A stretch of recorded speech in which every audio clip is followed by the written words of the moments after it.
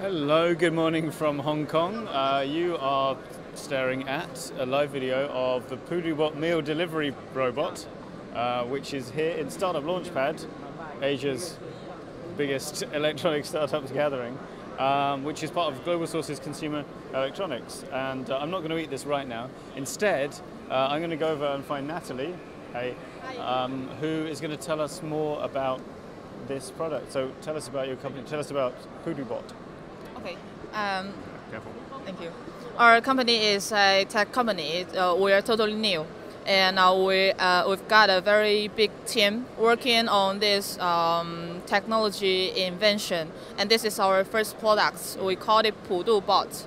It's a delivery uh, robot we use in a restaurant, mainly in restaurant.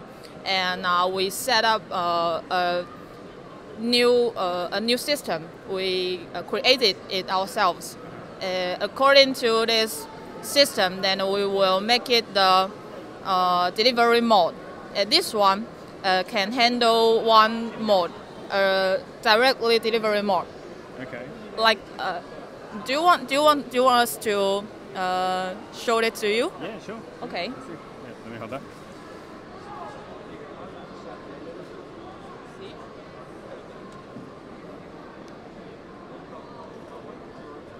Yeah, I will show you in English. It's very, kind of you. This is our directly um, delivery mode? mode. Yeah. Yeah. We import the table number, like table one and number table two. Ah. This is the dishes for table one, and this is for table two. And over there, we set up uh, the middle one as table one, Okay. and this one table two. Yeah. Then let it go. Yeah. So- Let's follow it. Let's keep the cable out of the way. Yeah. So it's, it's displaying it's delivering number one first. Oh,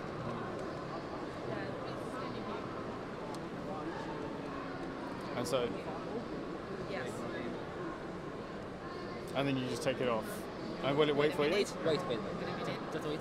Oh, it does the whole route. You see here? Oh, if you look on the This display, is the message. Yeah, So- this is the. Oh, the so you Then take your dish, Take it off. and then you and hit confirm. confirm, Then it will then turn it- to table two. and it knows it's been delivered already. Yes. Oh, sorry, I think I, I pressed the wrong thing. Okay. Then finally it will go back to the back to kitchen itself. Yes. Okay.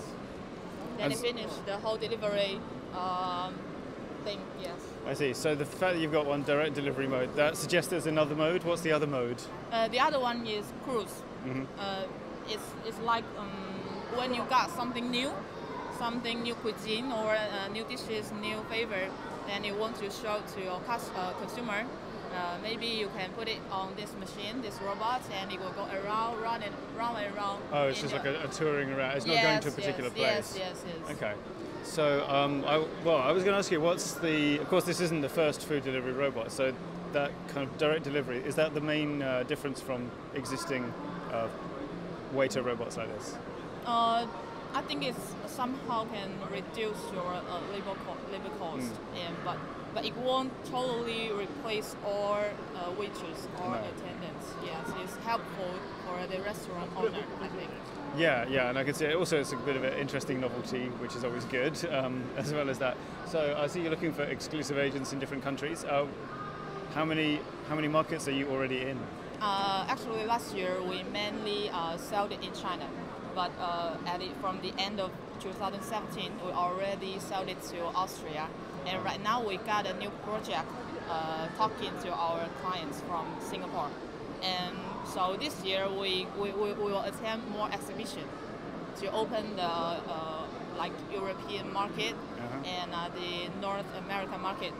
Okay, so yeah, if you're watching from any of those markets, that, that could be you. Um, for those people, uh, what kind of uh, what kind of setup are you looking for? What kind of MOQ um, or prices? Uh, are we actually, we are more prefer like uh, agent, the corporate. Really, uh, yeah, yeah. We, we, we would be um, looking for clients that we can be partner and uh, would be our agent and uh, uh, like MOQ. Our MOQ for these products is uh, 20, 20 sets. 20 but uh, uh, once once you, uh, if you want to be our agent, so it- then you will get a very good discount.